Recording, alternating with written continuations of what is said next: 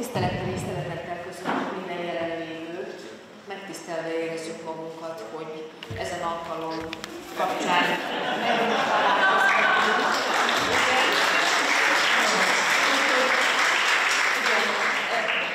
Orosz István elég jó mennyiségben jelenik meg itt most itt a Kecskemét életében, de azt hiszem, hogy nem, nem, nem elég sokszor, úgyhogy, úgyhogy mindig, mindig új dimenzióját fogjuk majd megismerni az orosz Istváni jelenségnek.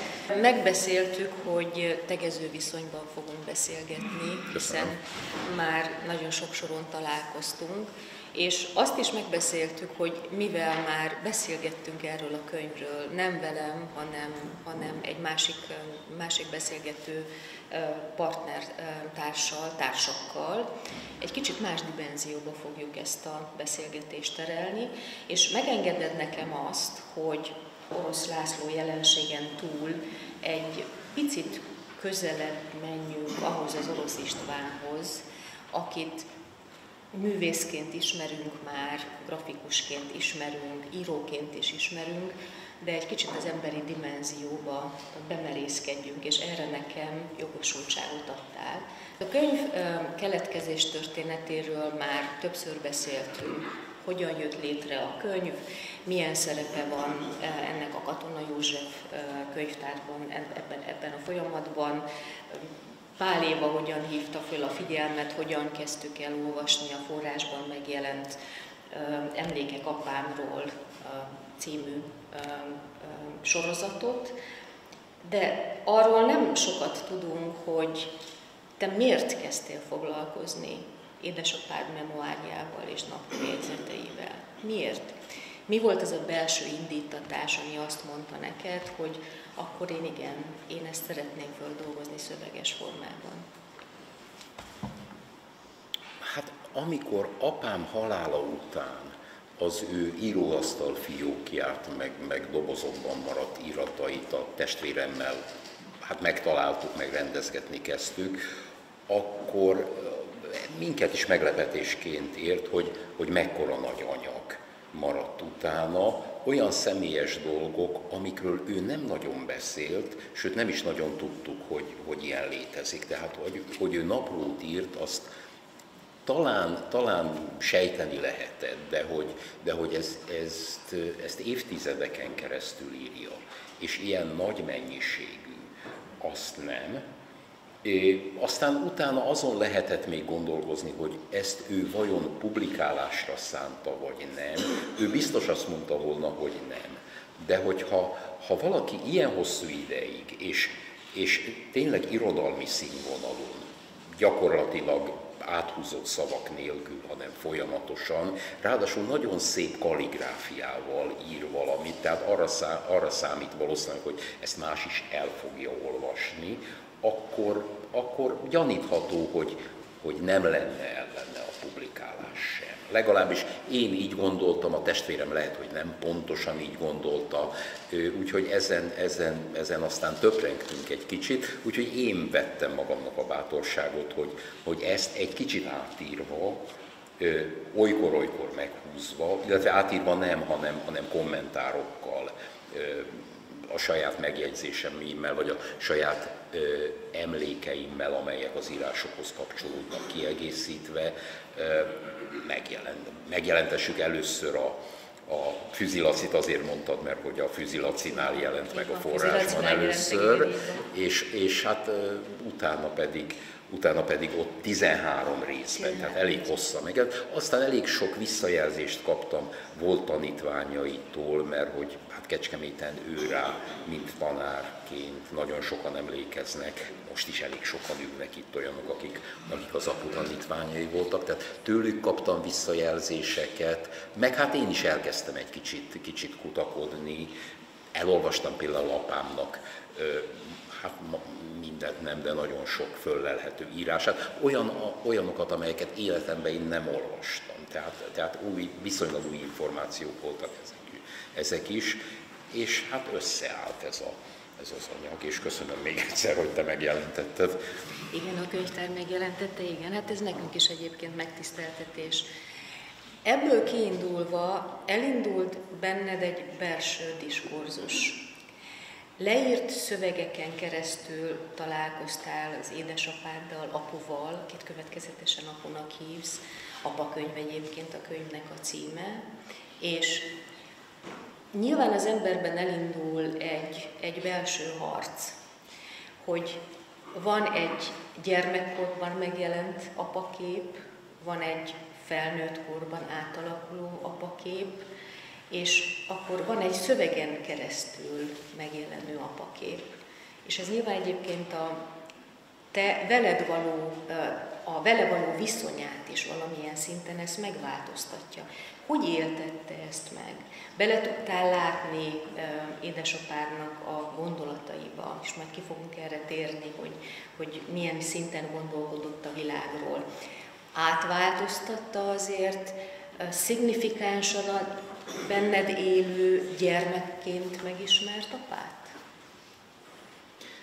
Hát nyilván próbáltam az ő gondolatait olyan szempontból megérteni, hogy, hogy mik, mik a közös gondolatok, és mik, mik amelyek mások, és, és hát bevallom, hogy elég sok olyan, olyan gondolatát, vagy olyan, olyan, olyan a világról történő meglátását vettem észre, vagy találtam, ami nem áll az enyémtől sem messze, de hát ez elég logikus, mert hát azért, azért mégiscsak az ő fia vagyok, és mondjuk 19 éves koromig állandóan együtt éltünk, és hát azután is én gyakran gyakran visszajártam. Én akkor kerültem el Budapestre, de gyakran visszajártam, tehát hetente, két hetente, három hetente én megfordultam Kecskeméten, de volt, amikor még ennél is sokkal sűrűbben. Tehát úgy nagyjából tudnom kellett, hogy ő mire gondol. Ennek ellenére vannak azért, vannak azért meglepő momentumok a, a naplóban is, meg a, főleg a naplóban, de a memoárban is. Hát a memoár az, az, egy, az, egy, az egy objektívebb, objektívebb műfaj, vagy, vagy, vagy átgondoltabb, mert számára is visszaemlékező, tehát nem a, nem a közvetlen eseményekkel foglalkozik, hanem, hanem visszagondol 10-20-30-40 évvel későbbi időkre. Egyébként a memoárt ő úgy számolom, hogy nagyjából egy nyár alatt írta le, 1986-ban, amikor nyugdíjba ment, és amikor az én lányom megszületett, a napló pedig akkor kezdte elvezetni, 86-ban, és az gyakorlatilag szinte élete végéig írta. Tehát egy számvetés tulajdonképpen az egyéniséget kialakulásában, illetve formálódásában. És akkor föltevődik a kérdés nyilván sokunkban, hogy milyen lehet egy egy ilyen egyéniség mellett gyerekként felnőni. És első felvetésként ugye az első kapaszkodó a könyvben, hogy ahol a maximum volt a minimum. És ezért úgy vissza-visszatér a könyvben, hogy ahol a maximum volt a minimum. Igen, ez azért ez... nem a családra vonatkozott, én hanem, azt tudom, a, hanem az tudom, ötös kollégiumra. Azt én tudom, de nyilván egyébként, hogy ez valamilyen szinten a családban is megjelenik. Tehát ezt a saját életedet tekintve mennyire tartod magától értetődőnek azt, hogy te is magadévá tudod tenni ezt a krémot? Ezt utólag visszagondolva azt gondolom, hogy sokkal inkább annak kellett volna tekintenem. Igen? Nem, nézd, hogyha az embernek a, a saját apja vagy a saját szülei diktálják azt, hogy a maximum legyen a, a, a minimum, akkor kevésbé veszi azt komolyan, mint hogyha egy iskolában vagy egy kollégiumban kapja ezt meg. Tehát én inkább arra gondolok, hogy mi mindent megtanulhattam volna, hogyha egy kicsit, kicsit szorgalmasabb vagyok, vagy egy kicsit jobban odafigyelek rá, mert tényleg nagyon sok mindent kaphattam volna tőle, amik, amiket nem kaptam meg. Például egy példa, hogy ő, hát ő latin tanár is volt, és, és próbált engem is latinra tanítani. Volt egy úgynevezett külön latin a gimnáziumban, ahova csak azok járhattak, akik, akik akartak latin tanulni. Főleg olyanok jártak oda, akik később az orvosira akartak menni, tehát nekik, nekik fontos volt, hogy latin tanuljanak, mert akkor ugye már a, a, a Kádár időkről beszélünk, akkor a latin tanítás már, már gyakorlatilag megszűnt a, a középiskolákban, és önként jelentkezők voltak, én voltam az egyetlen, aki nem önként jelentkező volt, hanem nekem oda, oda járnom kellett, de nem vettem elég komolyan, tehát nem, én, én gyakorlatilag nem tanultam meg rendesen latinul. Például pedig ott volt minden lehetőség, ott volt rá. De hát még sok-sok ilyen példát mondhatnék. És kiindulva abból, hogy irodalom vette körül az életeteket, Nyilván az édesapádnak a könyvekhez való viszonya, a szöveghez való viszonya. Nem éreztél sohasem egy enyhe nyomást a fele, hogy akkor te is ebbe az irányba menjél? Nyomást nem éreztem, de azért a, a millió ott volt. Tehát az, hogy én, az, hogy én irodalommal kezdtem már, már gyakorlatilag általános iskolás koromban foglalkozni. Én, és, hát, és hát gyakorlatilag ez végig kísérte az életemet. Az nyilván amiatt volt, hogy, a, hogy az apám is irodalmár, meg az anyám is irodalomtanár volt, de hogy ez, ez, ez bármiféle presszió eredménye lett volna, azt nem éreztem. Azt, azt inkább csak azért, mert hogy ők is ezzel foglalkoztak, otthon nyilván, nyilván sokszor szóba került ilyesmi, tehát, tehát automatikusan én is ilyennel kezdtem foglalkozni. Azért nem gondolom, hogy ez presszió lett volna, mert amikor már én, én annyira intenzíven foglalkoztam irodalommal, hogy meg is jelentek munkáim, az már apám élete vége felé volt, meg főleg miután meghalt, az, azóta jelent meg nekem több, több írásom, vagy több könyvem. Igen, ugye Laci bácsi egészen világosan megfogalmazza azt, hogy miért lettem tanár egy válasz eszében. Igen. Ugye Szabó János miért nem lettem tanár című írására reflektál, és akkor én fölteszem a kérdést, hogy te miért lettél grafikus, animációs filmrendező? Talán erről már itt a múltkor is beszéltem, hogy volt egy olyan olyan történelmi periódus korunkban, ugye a, az 56-os forradalom utáni ö, időszak, amikor az ember nem pontosan azt választotta pályaképül, amelyre úgy érezte, hogy predestinálva volt, hanem amire éppen lehetőség nyílt. Én, én ugye mehettem volna talán az eltére, de ott mondták, hogy jobb nem azzal a kudarc élménnyel kezdeni, hogy, hogy a családi háttér miatt úgy is elutasítanak, hanem mentem az iparművészeti főiskolára, ami egy külvárosi főiskola volt Budapesten, ahova úgy tűnt, hogy semmiféle, semmiféle politikai vizsgálódás nem lesz azzal kapcsolatban, hogy én, én hova, honnan jövök és mit akarok csinálni, és, és ezért oda mentem, de ott mindenféle irodalom, irodalmi dologgal lehetett foglalkozni. Tehát könyvet lehetett illusztrálni, tipográfiával foglalkoztam, könyvdesign, színházplakátokat terveztem. Tehát gyakorlatilag irodalmi közegben voltam annak ellenére, hogy, hogy nem kifejezetten irodalmi jellegű volt az a, az, az iskola. Tehát gyakorlatilag majdnem, majdnem olyan olyan, olyan dolgokkal foglalkoztam, mint hogyha bölcsészkarra mentem volna. Tehát a vizuális világ és a szövegnek a világa egészségesen keveredik a te az, hogy mennyire egészségesen, az hát de, de, de keveredik, és tényleg hát vizualitással is foglalkoztam már valamelyest, mert Kecskeméten ugye én már jártam rajszakkörökbe, úgyhogy ez nem volt ez, ez annyira, annyira, hogy mondjam, másmilyen út, bár azzal, hogy, hogy, hogy ilyen, ilyesmivel még senki nem foglalkozott korábban a mi családunkban, akár fekete bárányként is tekinthettek volna rám, ugye apám is, anyám is, testvérem is irodalommal foglalkozott, úgyhogy, úgyhogy én azzal, hogy rajzoló lettem, egy kicsit másfele mentem. Ha megengeded, akkor felolvasnám édesapád tanári hitvallásának egy nagyon-nagyon szép megnyilvánulását, és akkor erre szeretném, hogyha reflektálnál, reflektálnál a te hitvallásod kapcsán.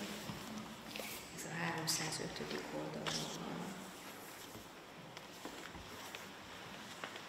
Irodalomtanítás, mert ugye erről polémiák jelennek meg itt és ott is, ott is. A divattól koronként sőt kötelezőnek nyilvánított irányzatoktól irodalomtörténészként is, tanárként is igyekeztem elhatárolódni. Meggyőződésem ugyanis, hogy az irodalmat csak a művek tudják megkedveltetni, a hozzájuk vezető utat pedig az a tanár mutathatja meg, aki nem csak a műveket, hanem tanulóit is ismeri. Nem jó az, ha a tanár arra kényszerül, hogy a tankönyv tudós szövegét magyarázza. Végül is miért tanítunk irodalmat? Azért hogy a tanulók csak félig meddig értett műelemzéseket tanuljanak meg, vagy azért, hogy megszeressék az irodalmat, saját vélemény formájának a művekről, olvasó emberekké váljanak? Igen.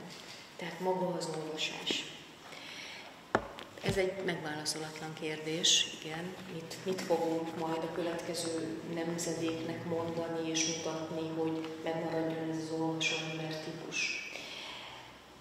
Te is olvasóember vagy értelem, értelemszerűen íróember is.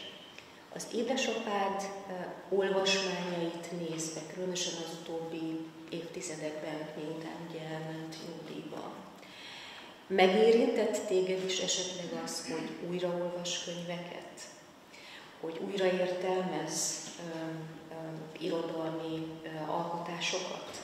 Vagy milyen a te olvasás, olvasás mintázatod? Erre nagyon kíváncsi vagyok. Én meg nagyon örülök, hogy pont egy könyvtárban beszélhetünk erről. Az hogy, az, hogy apám miket olvasott, az tényleg a naplójából kiderül, mert az ő naplójának legalább a kétharmad része, na mondjuk lehet, hogy csak fele, az olvasónapló. Ő leírja, hogy mikor mit olvasott, és tényleg óriási mennyiségű könyvet elolvasott. Nem volt nagyon nagy könyvtára, ő inkább éppen ide járt be, akkor még talán nem itt volt az épület, de ebbe a könyvtárba járt be, és innen vitt haza magának könyveket, elolvasta, és aztán becsületesen visszahozta őket. És most eszembe jut talán az egyik legelső olyan komoly olvasmányélmény, ami, ami apuhoz kapcsolódik, illetve az apu olvasmánya tulajdonképpen. Ő 1956 után, amikor egy jó ideig nem kaphatott munkát, akkor a barátai jóvoltából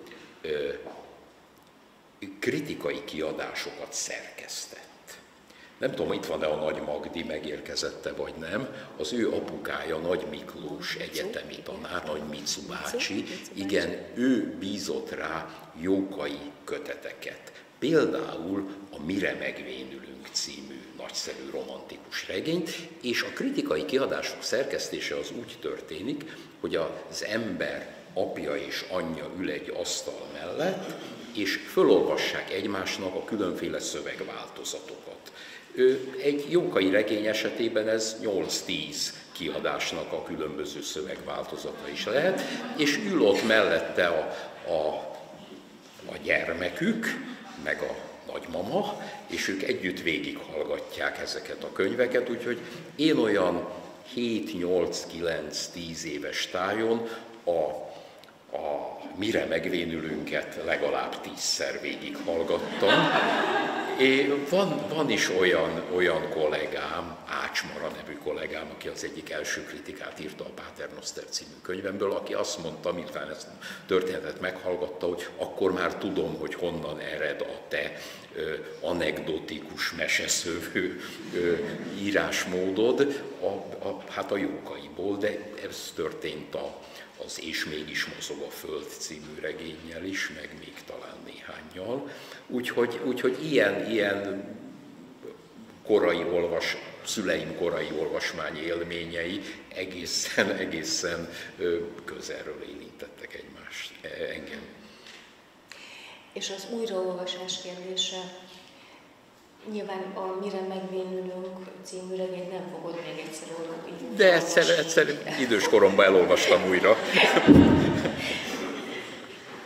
Van és ajánlom mindenkinek szeretettel. Igényed arra, hogy ebből a, az olvasmány listából, amivel ugye találkoztál az édesapád naplójának a kapcsán, valamit még egyszer elolvas, és esetleg az olvasó naplóból kiindulva újra értelmezd azt a művet? Igen, igen, igen, igen. Van eleve, eleve ö, eleve az újraolvasást, azt egy nagyon fontos dolognak gondolom én, vagy, vagy nagyon jó leső dolog. Sajnos közben az ember időnként arra gondol, hogy hát olyan rövid az élet, hogy nem lehet újraolvasással foglalkozni, hanem, hanem mindig új dolgok felé kellene nyitni, de aztán amikor előveszek egy-egy, egy-egy régi könyvet és, és elolvasok újra, akkor rájövök, hogy hát az újraolvasás azért az, az, az, az nagyon fontos, és hát nyilván nem mindegy, hogy, hogy mit vesz elő, a, elő az ember, ember még egyszer. Most akkor belekapaszkodok abba, hogy azt mondtad, hogy annyira rövid az élet. Igen. Hát a te életedben olyan szintű élménysorozat jelenik meg. Egyrészt ugye az anamorfózisok kapcsán valaki azt mondta rólad, hogy túlságosan ismert vagy képzőművészként, akármit csinálsz, annak fognak tartani, legfeljebb vagy Várger, Várger. Igen, ezt Tarján Tamás barátom mondta. Mérgesen írsz, ugye? És rövid az élet, rengeteg dolgot csinálsz, különböző objektumokon keresztül nézed a világot, és rengeteget utazol. Bejártad a világot, gyakorlatilag keresztül kasul, föl sem lehet sorolni, hogy hány, hány helyen jártál, és egyszer, talán többször is, megvillant annak a lehetősége, hogy az Egyesült Államokban legyél tanár.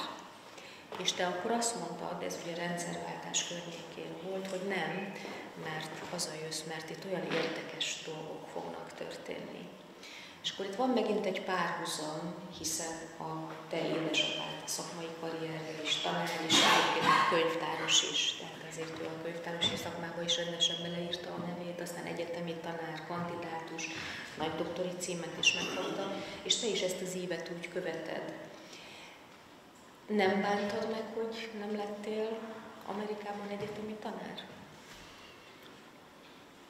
Hát erre nehéz válaszolni. Akkor, akkor ez egészen természetesnek tűnt. Ugye akkor nyílt ki az ország, ez talán 91-ben vagy 92-ben volt, volt, amikor, amikor nekem felajánlottak egy, egyébként nem egy vezető egyetemen, ez egy West Virginiai városka egyetemén volt, hogy, hogy ott legyek a grafika tanszéken, tanszéken tanár.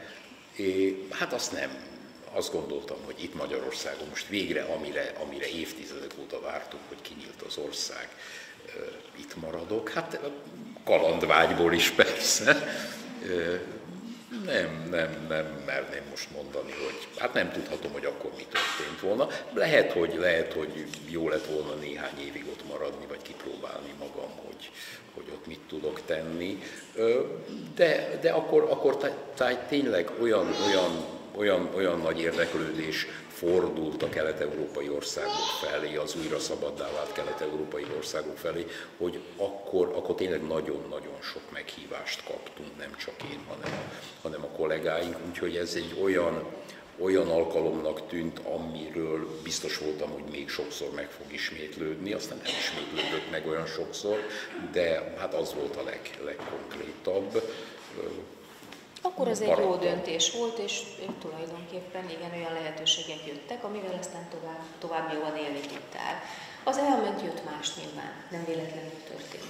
Visszatérve még egy picit az apakönyvre. Nyilván apakönyv, nyilván Laci bácsiról van benne szó, és áttételesen nyilván a te életedről és a te családodnak az életéről is. Viszonylag kevés szó esik az édesanyádról. Mindig ott van a háttérben. Talán két kép jelenik meg több száz oldalas könyvben. Milyen az édesanyádhoz kötődő, milyen volt, vagy milyen most is az édesanyádhoz kötődő viszonyod?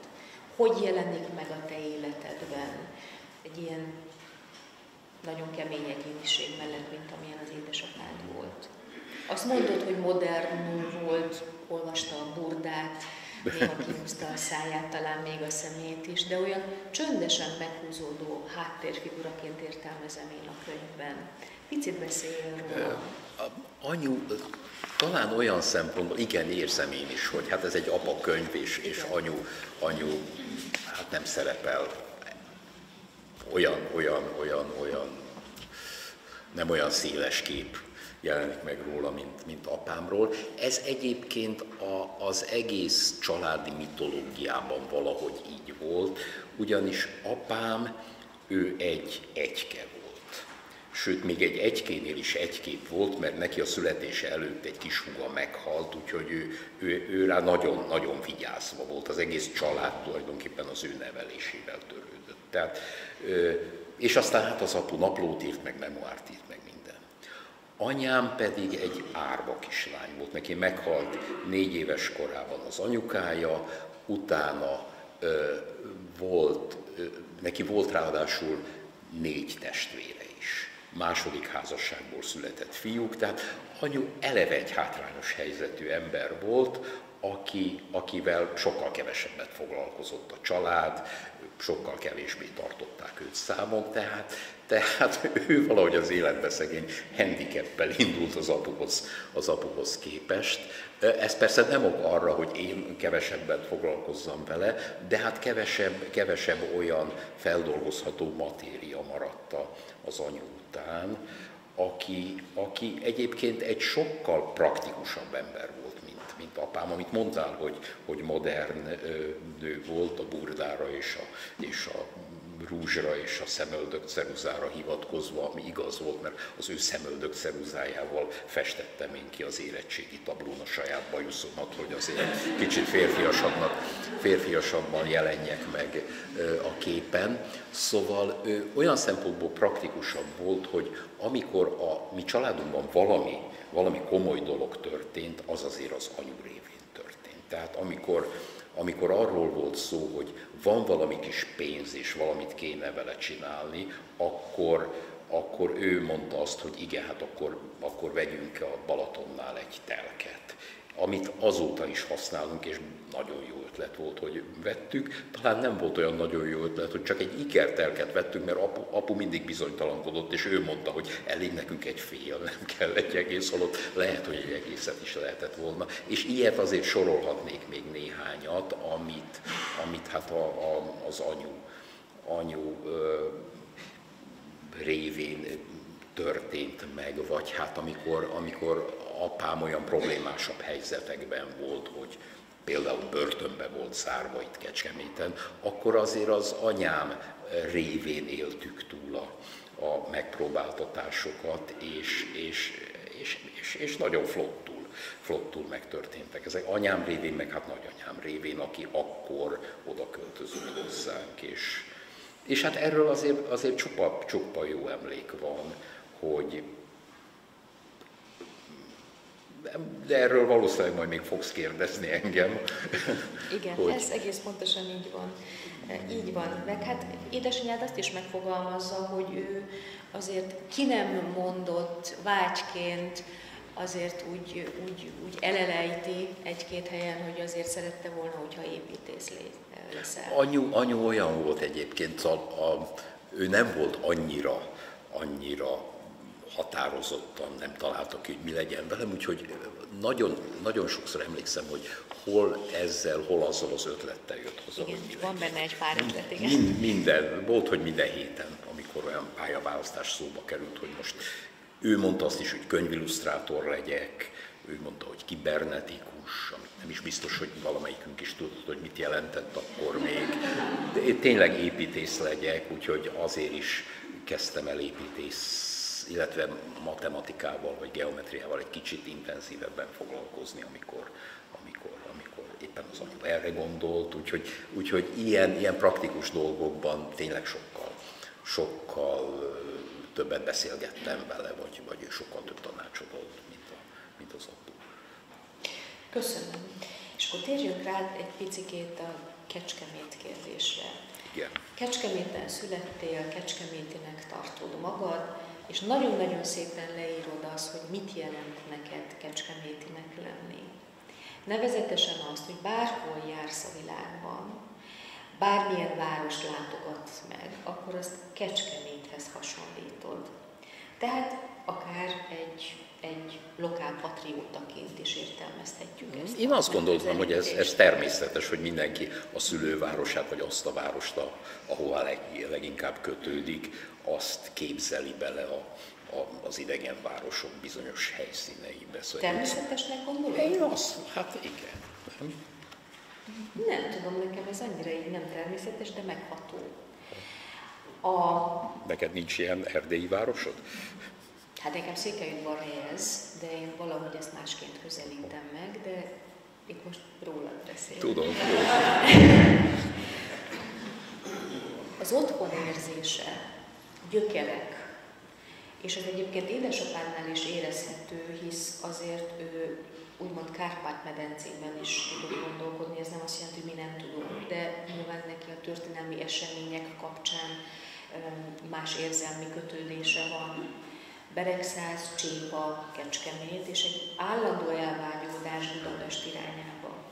Neked ez nem volt meg, mert nem volt meg. Te a mai napig kecskeméti vagy, bár most már sokkal többet értél, Igen. éltél Budaörsön, azt hiszem. Azért az az igazság, hogy apu, aki ugyan nem Igen. Kecskeméten született, ő szerintem ezerszer kecskemétibb lett, mint én, de mert ő egész életében itt él, de Igen. elvágyódott. Igen, és én Nekem azért nem kellett elvágyódni, mert én eleve elkerültem Kecskemétről.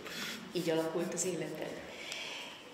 Egy úgynevezett kecskemét fóbiát nevezel meg, és az ő szavait idézve a 48-as levelekből, hogy egyetlen vágyam talán csak az már, hogy mégse kecskeméten temessenek el. Ezt egy kicsit tegyük helyre, hiszen azért eltelik sok-sok évtized, és megtalálja a helyét ebben a városban. Az, hogy vannak elvágyódásai, Szegedre is aztán elmegy egyetemi tanárnak, de mindig visszatér. Hogy érzed, hogy érzitek, hogy, hogy egyrészt lehetett az faktor, hogy te mikor elkerültél Budapestre, és lehet egyébként, hogy az ő meg nem valósult vágyaiban ez valahogy, valahogy hogy helyre kerül, és egyre inkább visszajössz Kecskemétre, tehát hogy egyre szorosabb kapcsolatot tartasz Kecskeméttel. Ez lehetett egy faktor, hogy ő úgy tényleg megtalálja a helyét? Tehát ez a Kecskemét fóbia azért úgy szépen helyre tevődik az ő életében. I- igen, próbáljuk meg helyre tenni a kecskemét fóbiát, én is, én is azt gondolom. Ez, amit, amit, amit mondtál, tényleg a közvetlen miután Kecskemétre kerül, vagy visszakerül Kecskemétre, mert ugye azt mondjuk el, hogy ő Csépán született, ami egy közeli kis falu, ahonnan az ő szülei Kecskemétre hozták be az aput a Kecskeméti Református Kollégiumba tanulni. Gyaníthatólag azért választották épp Kecskemétet, mert Szolnok vagy, vagy, vagy Szentes talán közelebb lett volna, mert hogy Kecskemét egy, egy református város volt akkoriban, ugye a 30-as évek legelejéről beszélünk, és a, a apám édesanyja meg egy református paplány, úgyhogy neki az fontos volt, hogy, hogy, hogy ilyen környezetben tanuljon. Úgyhogy ide járt abba a református kollégiumba, ahol ugye Junkai Mór is, meg, meg hasonló nevezetességek jártak, de aztán ugye az első Bécsi döntés következtében az ő szüleinek a szülőföldje visszakerül Magyarországra, úgyhogy ő már Beregszászon a nagyszülőknél lakva érettségizik, mert a szülők azért nem költöztek vissza, de a fiúkat visszaküldték. Visszaküldték Beregszázba, onnan kerül az ötvös kollégiumba Pestre, és aztán az ötvös kollégiumból, amikor, amikor ő megkapja a diplomáját, meg kell nevezni néhány helyet, hogy hova menjen tanítani, vagy hova menjen dolgozni, és ő bejelöli utolsó helyen Kecskemétet, de, de akkor úgy dönt a, foglalkozás elosztó minisztérium, vagy nem tudom mi, vagy Kecskemétre küldik, és ő, ő, ő vágyik vissza a budapesti barátai közé, meg, meg az akkor intenzíven beinduló irodalmi életbe, mert akkor ő már a válaszmunkatársa, meg, meg publikációi jelennek meg egy csomó, csomó fővárosi újságban, úgyhogy vágyik nagyon vissza, úgyhogy a Kecskemét fóbia az, az inkább innen, vagy innen eredeztethető.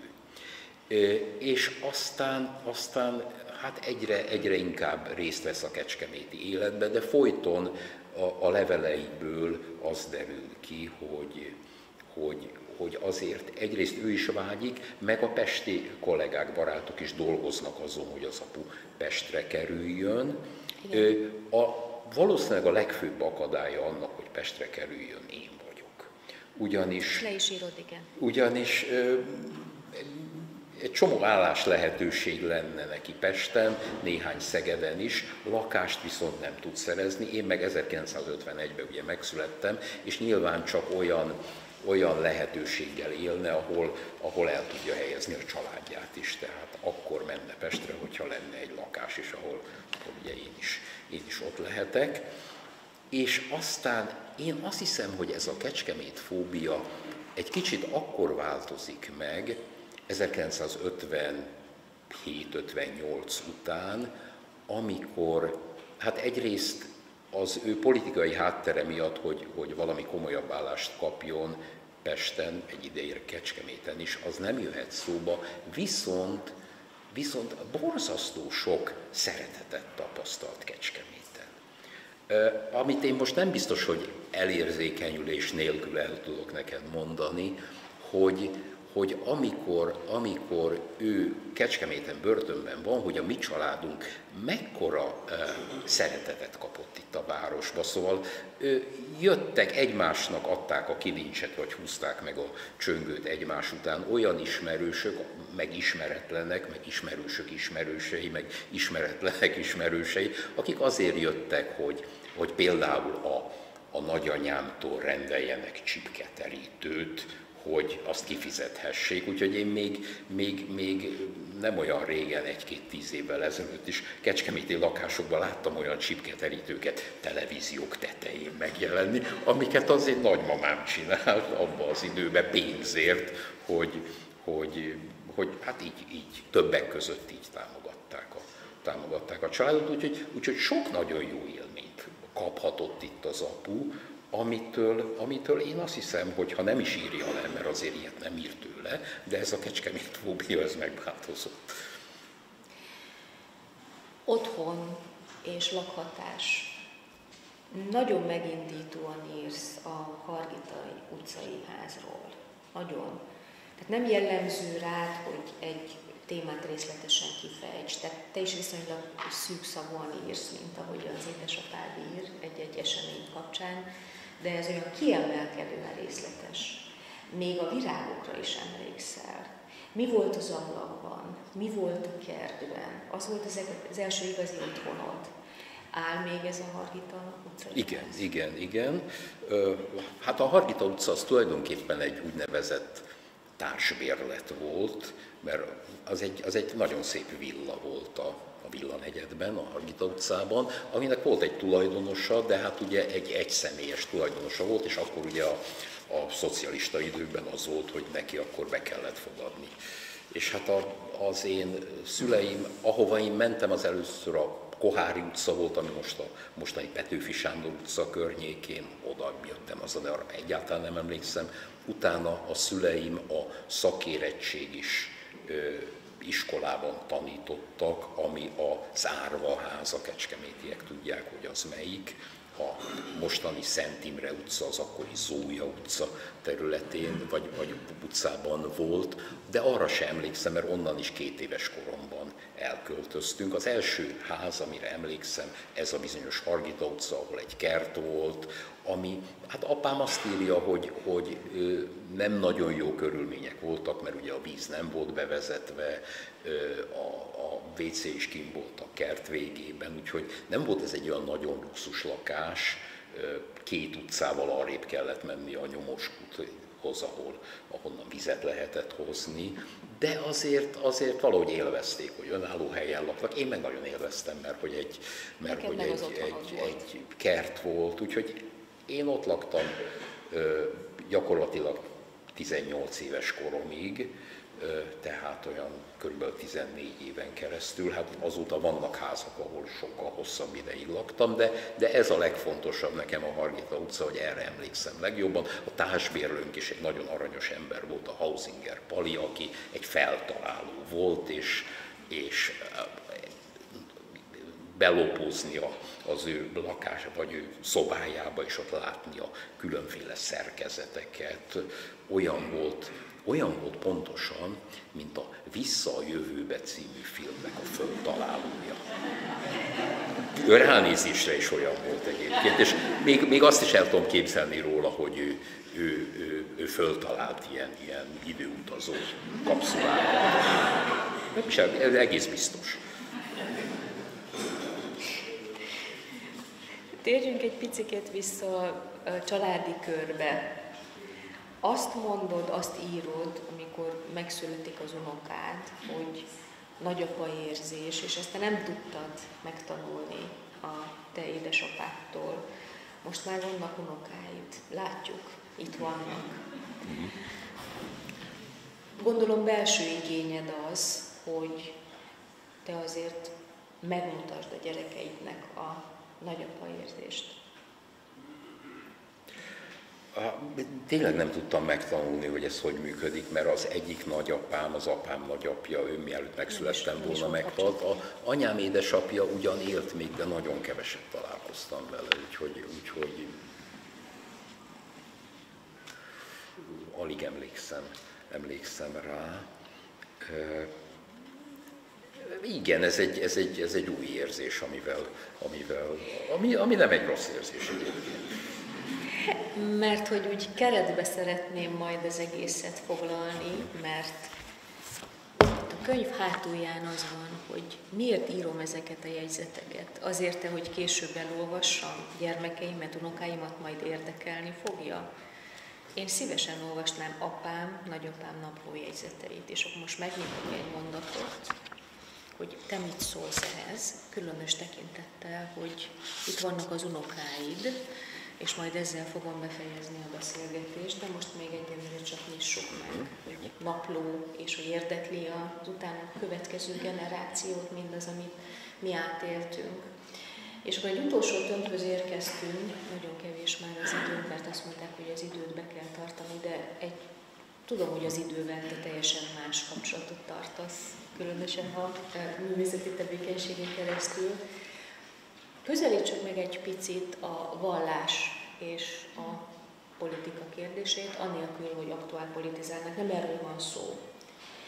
1986 után, és az ugye vízválasztó a ti családotoknak az életében, a naplójegyzetekből, legalábbis azokból a részekből, amit te gondosan kiválogattál, egész komolyan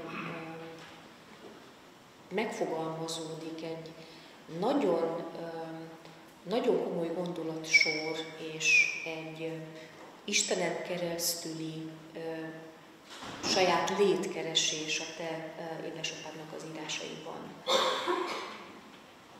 Mit gondolsz erről, hogy, hogy egyrészt ő tudatosan keresett valamit az életében, és ezt le is írja, elkezdi olvasni a Bibliát, és ezzel párhuzamosan visszanyúl az ókori filozófusokhoz, sztoikusokat olvas, és, és, és szinte párhuzamot van a kettő között. Hogy látod, hogy milyen volt egyébként az ő vallási meggyőződése, és ez milyen hatással volt rád? Beszéltetek ti erről? Nagyon keveset beszéltünk. Az, hogy, az, hogy apám a vallással annyira mélyen foglalkozzon, az nem, a életében ne, legalábbis számomra nem derült ki. Ez inkább, inkább a naplók alapján, talán egy kicsit a memoár, de inkább a, inkább a naplók alapján vált világossá nekem is, hogy egyrészt a saját gondolatait írja, másrészt olvasmányai, nem csak a Biblia, hanem, hanem szépirodalmi munkák olvasása kapcsán is kitér, kitér bizonyos hittel kapcsolatos problémákra, ő, ő, de, de azt nem merném mondani, hogy ő nagyon határozottan megtért hívő lett volna, viszont, viszont nagyon intenzív kereső volt. Tehát nagyon foglalkoztatta ez a téma, sokkal inkább, mint, mint engem, ezt be kell, hogy valljam. De, de hát nyilván az hogy, az, hogy én most erre rátaláltam az ő könyvébe, bennem is elindíthat valamit.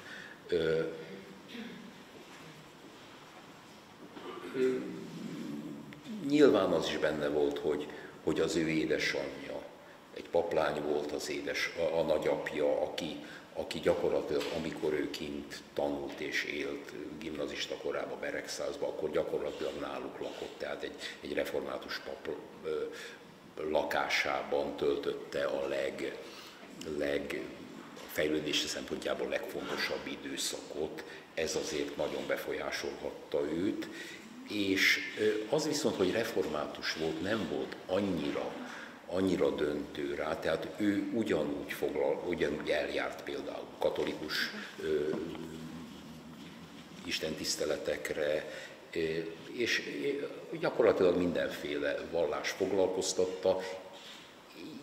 Az egyháztól inkább távol tartotta magát, a hit egyháztól függetlenül volt számára, számára fontos. Igen. Azt írja, hogy Platon sokkal magasabb rendű erkölcs, mint az Ószövetség. Ebben, igen, ebben azért egy nagyon komoly állásfoglalás van, és érvel saját magával. Nagyon érdekes lét és hit dimenziókat nyit meg és hogyha te ezt majd tovább folytatod, és majd leírod majd a gyerekeimnek, majd mikor válaszolsz a mondatnak a másik felére, akkor majd erre visszatérünk. Térjünk át az, hogy leírjam el a gyerekeimnek, talán az, hogy ezt az apakönyvet összeraktam, ezzel már helyettesítettem azt, mert azért ebben a könyvben, amellett, hogy az apám, apám írásai dölt betűvel jelennek meg az apu írásai, a, a saját ö, talán kommentjeim is ott vannak, amiből lehet, hogy kiderülhet valami róla is. Ez biztos, hogy így van, mert hogy akkor itt most idézek ehhez kapcsolódván, amit leírok, azt el lehet. Ezzel nyugtatom magam, mert érzem, szükségem van a felejtésre, a lélek könnyítő amnéziára, de azt is tudom, fölöslegesen ábrázolom róla. A leírt mondatok mélyebben mésődnek be a szürke állomány barázdái közé, mélyebben, mint az emlékek, átveszik a helyüket, és egy idő után pontosan emlékszem a leírt mondatokra, pontosabban emlékszem a leírt mondatokra, mint az emlékekre, melyek felidézték őket. Semmi értelme sincs, hogy folytassam, lapozok vissza újra a 2012-es jegyzetéhez, és döbbenten látom, ahogy életem jól, rosszul összeillesztett, hézagosan egymásnak döntött képei elengedik a hozzájuk tartozó emlékek kezét, hogy apám életének emlékei között keressenek társat, hogy azok akaroljanak bele. Igen, az apakönyvben nagyon, nagyon mélyen megjelenik Orosz István is. De ahhoz, hogy a te unokáid az Orosz Istváni dimenziót megérhessék, ahhoz kell egy orosz Isten emlékére. Én ezt legalábbis így értem. Nagyon, nagyon provokállak téged, de majd Érzem. konkrét választ kell majd adjál. És akkor még egyetlen egy dimenziót közelítsünk meg, ez a politika kérdése. 1986-tól szinte napi rendszerességgel megjelenik a naplóban, ez történt, az történt, és nem csak magyar viszonylatban, hanem európai és világviszonylatban is. Világosan megfogalmazott mondatok, gyakorlatilag kritika nincs is benne, egyszerűen tényszerűen közöl dolgokat. És hát a rendszerváltozás körül gondolatok, tehát akkor apád 64 éves volt, te 38 éves voltál, gyakorlatilag egy kortörténet, egy kor, kordokumentum, mindent, a sebész fontosságával mindent leír, néha kommentál, lehet egyébként, amit nem tettél bele, abban azért úgy több, több magyarázat is megjelenik, meg, meg, megérinti a közélet, téged is megkörnyékez nyilván a közélet. Beszéltetek ti erről otthon? Elmondta a saját maga gondolatait ezzel kapcsolatban? Az, hogy aggódott a világ sorsáért, az egy teljesen természetes, természetes igen, igen. gondolat. De ezt megosztotta veled, mint a fiával, mint a felnőtt fiával?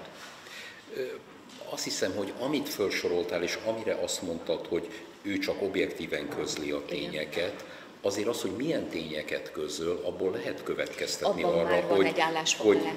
igen, meg hogy, hogy ő tulajdonképpen aggódott a világért. Ő szerintem sokkal jobban aggódott a 80-as évek végén, a 90-es években, a 2000-es években a, a világért, mint amennyire én aggódtam. Mondjuk ebbe, ebbe benne lehet az is, hogy ugye ő, ő 26 évvel idősebb nálam, tehát más perspektívából látja az eseményeket, meg, meg nyilván az még inkább benne lehetett, hogy ő a világ folyásából sokkal, sokkal több rosszat tapasztalt, meg sokkal több negatív élménye volt. Ő ugye átélt egy világháborút, amit, amit én, én megúsztam. És, és, és abból, hogy, hogy milyen dolgok történnek, ő nyilván tudott arra következtetni, hogy itt ezekből még fejlődhetnek még ki, hogy, hogy milyen, milyen, milyen rossz dolgok sülhetnek ki. Szerencsére akkor az ő életében olyan nagyon rossz dolog nem sült ki. Ha élne, most lehet, hogy, lehet, hogy jobban félne, hogy, hogy mi sülhet most ki éppen a mostani, mostani világból. Rendszerváltozás, és egy picit beszél nekünk a Tavares Konyec plakátról mert hogy ennek az utóéletét ismerjük. Gyakorlatilag még inkább, még nagyobb világhírt kaptál ennek a, plakátnak köszönhetően. De mikor rajzoltad ezt? Milyen motivációról jött, hogy akkor ezt, ezt te úgy, úgy, úgy, úgy, úgy vizuálisan megjelenítsd? Mert ugye erre úgy nem találtam információt. Lezsák elnök úr itt elmondta, hogy akkor hogyan került ez vele a közéletbe, hogyan lett belőle egy rendszerváltó plakát. De hogy született a plakát István? Hát azért ugye a 80-as évek közepén, második felében már benne volt a levegőbe, ezzel, ezzel sokan foglalkoztak. Hát igen, nem, csak nem ilyen nem, eredménnyel, nem, mint nem, te. nem csak én. Az, hogy, az meg, hogy hát, amiről ez a plakát szól, az gyakorlatilag 56 óta ott volt a köztudatban, már az 56-os forradalomnak is az volt talán a legradikálisabb követ, követelése, hogy menjenek el innen a megszállók. Ezt aztán később nyilván nem lehetett olyan nagyon határozottan hangoztatni, de hogy erre mindenki gondolt, és mindenkinek ott volt a tudatában, az, az világos, és akkor a 80-as évek táján már, már lehetett nem csak gondolni rá, hanem beszélni is róla, és hogy akkor én megcsináltam ezt a plakátot, hát szerintem ezt bárki megcsinálhatta volna, hogyha ha Szóval sokan megcsinálták. Na hát ez egy legendás szerénységről ad egyébként bizonyságot, mert azt, hogy sokan gondolunk sokfélét, sok mindenről, talán még beszélünk is róla, talán vesszük a fáradtságot, hogy egy kicsit nagyobb társaságban is beszéljünk róla, az egyfajta bátorságot feltételez.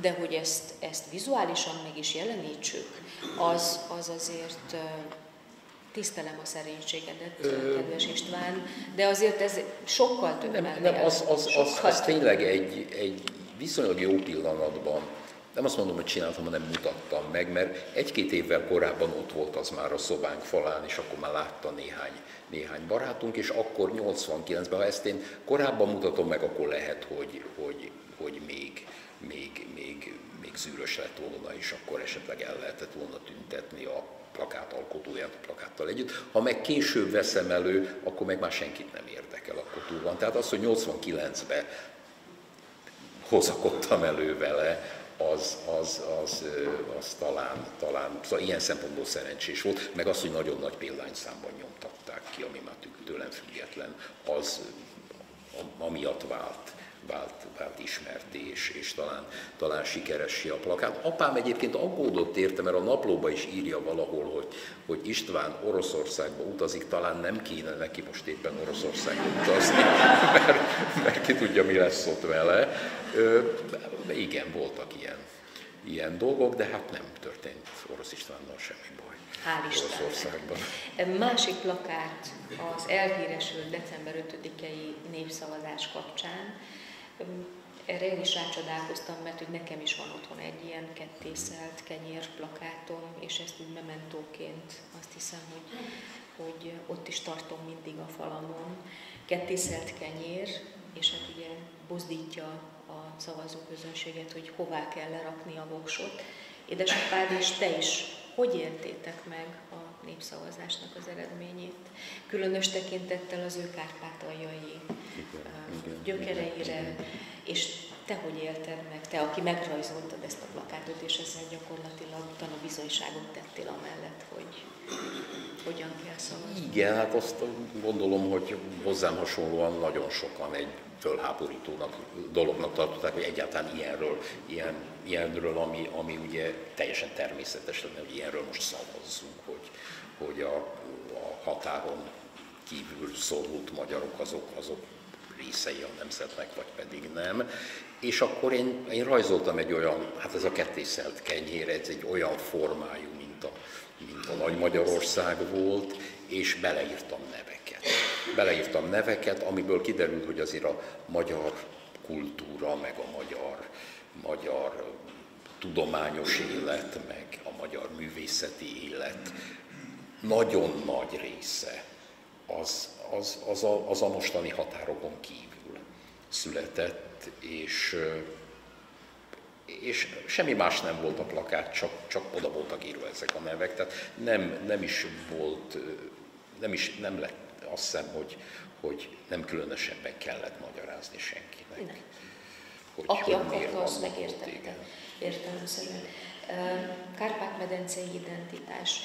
Érdekes jelenség a világban, hogy mondjuk a diaszporában élő magyarok esetében tapasztaltam én magam is, hogy a második generáció nyúl vissza a nagyszüleinek a gyökereihez.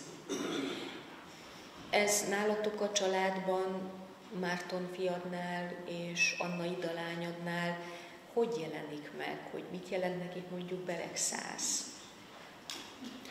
És majd Marcira majd egyszer visszatérek majd a névválasztáson, te is engedélyt adtál, hogy azért egy igen, családi mintázatot törtetek meg azzal, hogy akkor nem István lett, hanem Márton.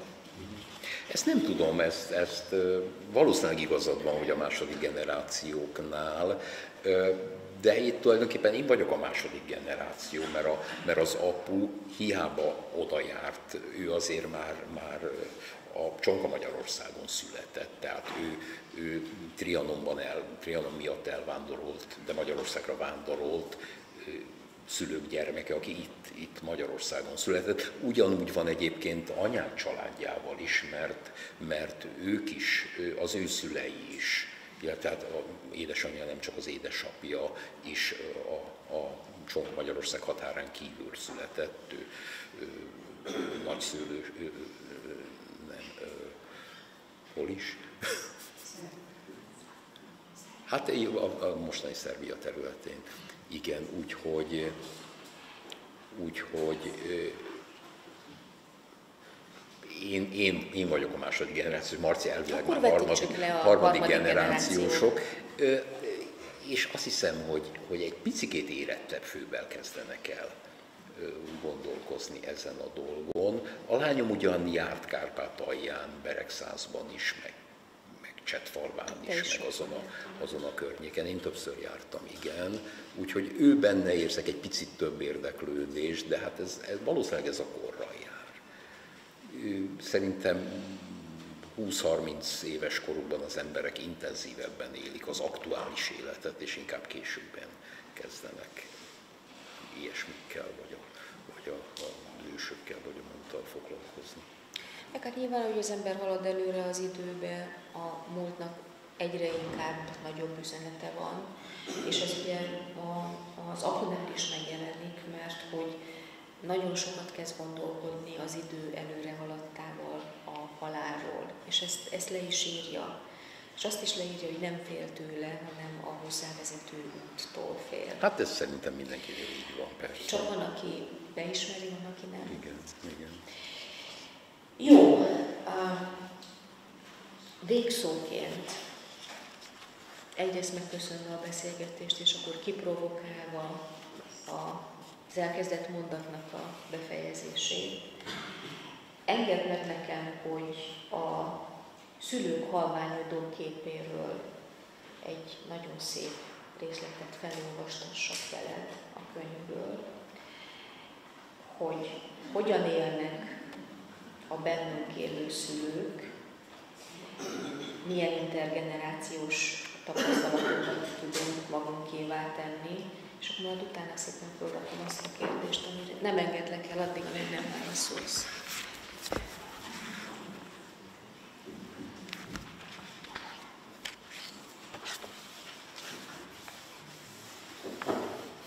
És akkor ezzel egyébként üzensz a gyerekeidnek és az unokáidnak is. Uha. Hogyha innentől elolvasod idáig.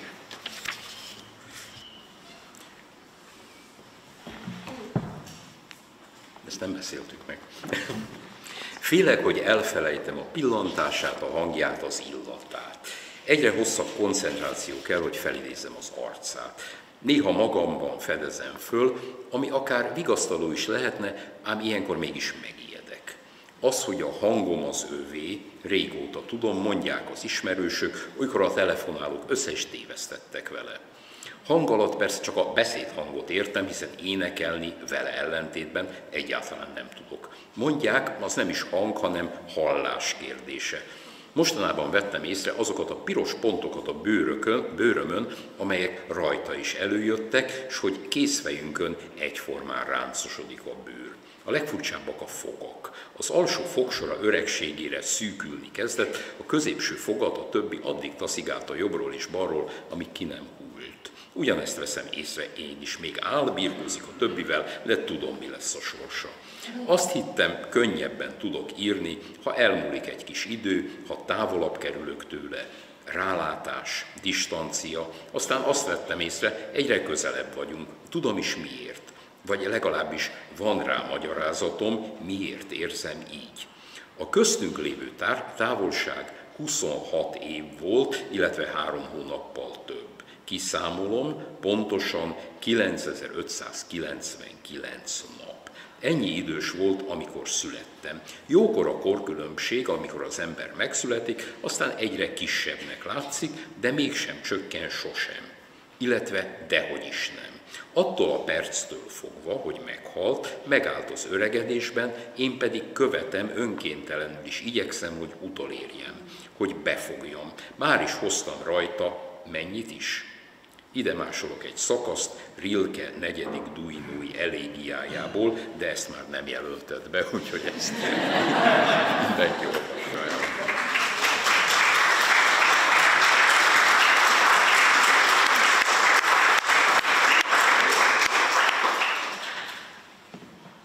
Ezekből a szavakból kiindulva Márton fiadnak, Anna, Ida lányodnak, már megszületett és majd megszületendő unokádnak, ezek után fogsz naplót írni? Hát hagyományos naplót nem tudom. Időnként leírom a gondolataimat. Van nekem egy blogom, ami majdnem olyan, mint egy napló, sőt, tulajdonképpen akár naplónak is tekinthető, de van egy másik napló, amikor az apu 90 éves volt, akkor a testvéremmel elhatároztuk, hogy csinálunk neki egy blogot. Apámnak szerintem már fogalma sem volt mi az, hogy blog, de oda föltettük az ő írásait, meg a vele kapcsolatos dolgokat. Konkrétan például most nem olyan régen föltettem azt is, hogy itt most beszélgetni fogok veled, úgyhogy az egy ilyenféle kicsit aktuális írásoknak a, az összeszedése, ami, ami hát állandóan változik, úgyhogy ha véletlenül van itt valaki, aki, aki azért jött el, mert azon a, azon a blogon, azon az elektronikus naplón olvasta, hogy, hogy itt az apuról szó lesz, köszönöm szépen. Úgyhogy van, van valamiféle naplószerűség. Az, hogy én olyan hagyományos naplót írjak, ami, amit az apu írt, azt most nem merem megígérni neked. Pedig én reménykedtem abban, hogy a te habitusokból kiindulva megfogod azt a pennát, és tudom, hogy digitális világban élünk, és ez jól van így. Nincs is ezzel az ég egy világon semmi gond. De az a fajta érzelmi üzenet, amit üzenni tudsz a következő generációnak, hogy veszed a pennát, és ott azért szokott ceruza lenni a kezedben, Olyannyira nem, hogy ahhoz, hogy most itt az előbb dedikálja, kölcsön kellett kérnem egy tollat, mert elfelejtettem Művészi tevékenységetből kiindulva gondoltam erre, hogy kaligrafikus írással, persze nem nyilván úgy, ahogy azt, azt, az, azt az előtted lévő generáció csinálta, mert a fölött már eltelt az idő, de az, hogy egy, egy füzetben leírom azt, hogy igen, most erre gondoltam, Marci, emlékszel erre? Anna Ida, emlékszel?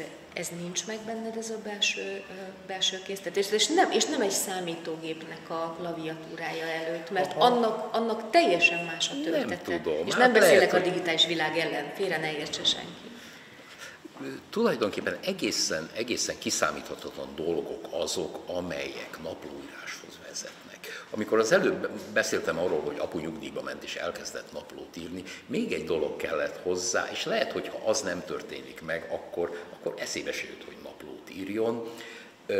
Vagy ő járt valahol Kárpátalján, vagy valamelyik ismerőse hozhatott neki hat darab füzetet. Hat darab ilyen viaszkos vászonnal, majdnem olyan, mint egy könyv, kicsit puhább borítójú, mint egy könyv, de azért egy, egy normális füzetnél keményebb, szóval könyvszerű, üres füzetet.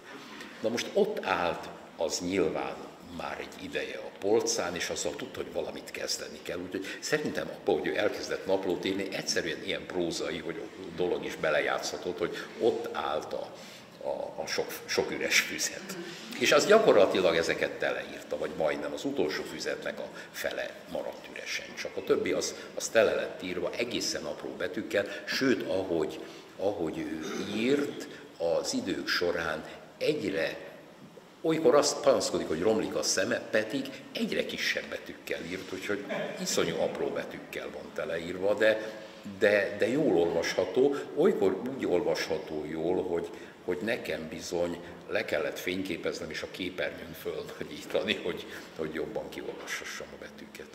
Jó, akkor ezt az objektív akadályt áthidalván, akkor majd a könyvtártól fogsz kapni egy füzetcsomagot az elkövetkezendőkben, és nem tudlak úgy elengedni, hogy ehhez az épülethez való kapcsolódást ne említsem meg, nem csak Orosz László révén, hanem, hanem a te személyed kapcsán is, mert hogy fölmerült annak idején, amikor fölépült ez a gyönyörű épület, hogy egyszer majd talán egy anamorfozis fog születni az épület díszítésére, és akkor, hogyha mi gondolkodunk egy füzet csomagban, és egy, egy ereje teljében lévő művészemberrel beszélgetünk, akkor el tudod képzelni, hogy esetleg megszülessen ez a mű a Katona József könyvtár számára? Nagyon köszönöm ezt a gondolatot. Persze. Ez csak egy nagyon óvatos felkérés volt egyébként. Tehát rész, nyilván, részemről is egy nagyon óvatos válasz volt. Nyilván, e, e, nyilván, de mégis tehát olyan sok szállal kötöttök, nem csak az épülethez, nem csak a könyvtárhoz, nem csak az olvasáshoz, mindenhez, Kecskeméthez, hogy azt hiszem, hogy ez egy, egy olyan méltó gesztus lenne, ami, ami, ami azért generációkon túlmutat.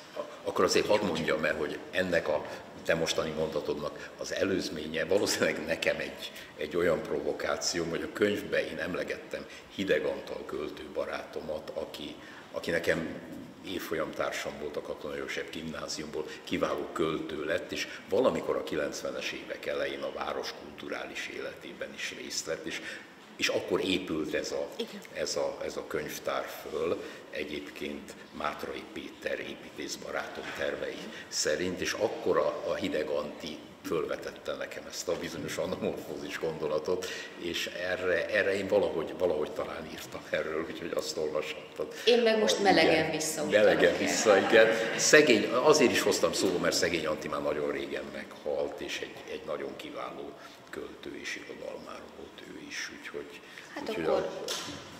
A ha... Hideg Antal emlékére. Igen. Lehet, meg... hogy vannak is, akik itt ismer, vagy emlékeznek a Hideg Antal. Meg annak kapcsán, hogy Orosz László és Orosz István a polcokon. És, és a lépcső akkor, oldalán. És a lépcső oldalán is ott van, igen, igen. Nyilván egy nagyon szerény kérés volt ez részünkről, de hogyha ez megszületik, ezt nagyon szépen köszönjük. Köszönöm, Élmény szívesen. volt veled beszélgetni, Köszönöm. és viccesen arról is már szót ejtettünk, hogy annyira belejöttél ebbe az írásba, hogy, és olyan jól fogy a könyv egyébként, ott van a lehetőség, és dedikáltatni lehet, hogy akár egy második bővített kiadásban is gondolkodunk, de azért a füzet csomagot nem felejtjük el. Úgyhogy nagyon, nagyon szépen köszönjük, hogy itt voltál, hogy hát köszönöm, beszélgettünk. Hogy én látott készültem, tehát kipreparáltam a könyvet, de hát ez gyakorlatilag egy 24 órás beszélgetésnek lett volna, lett volna az anyaga, sok mindenre nem tudtam kitérni, de akkor maradjunk annyiban, hogy a következő második bővített kiadásban akkor majd azokat a kérdéseket is felteszem, amelyek bennem maradtak. Önöknek is nagyon szépen köszönjük, hogy itt voltak, végighallgattak, és akkor úgy menjünk el, hogy mikor találkozunk? Erzsébet Attól függ, hogy mikor küldjük a füzeteket. Jó? Köszönöm szépen. Köszönöm. köszönöm szépen. Köszönöm szépen.